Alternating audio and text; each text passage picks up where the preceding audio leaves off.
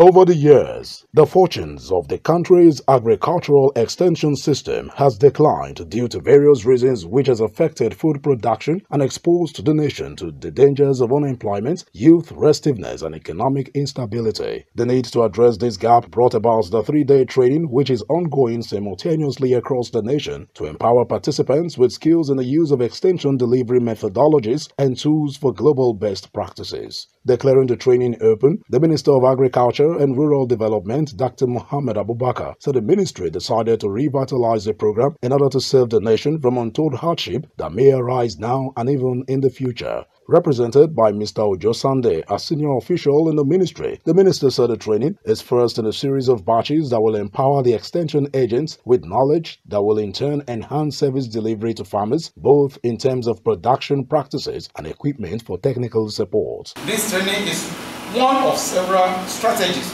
planned by the Federal Ministry of Agriculture and Rural Development to halt the drift in agricultural extension system with aim of pursuing the revitalization agenda of the Nigerian economy by the federal government. Ondo State Commissioner for Agriculture and Forestry, Mr. Olayato Aribo, represented by the Permanent Secretary in the Ministry, Mr. Edward Ogumola, while reeling off the various achievements and commitments of the government to agriculture in the state, reiterated the present administration's drive to continually prioritize agriculture. We need to continue to assist farmers to identify and analyze their production problem, become aware of the opportunities for improvement via extension service provisions by well-trained extension specialists. It's a task that must be done for us at the state.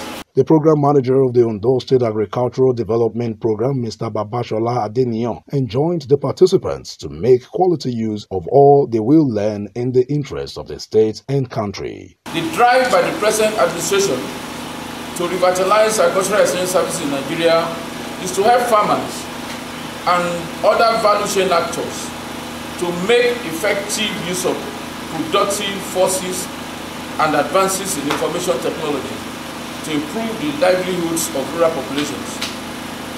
They create jobs and promote sustainable agricultural and socio-economic development of the country. Some participants lauded the government for the initiative, stressing that it will go a long way to bring about enhanced food production in the years ahead.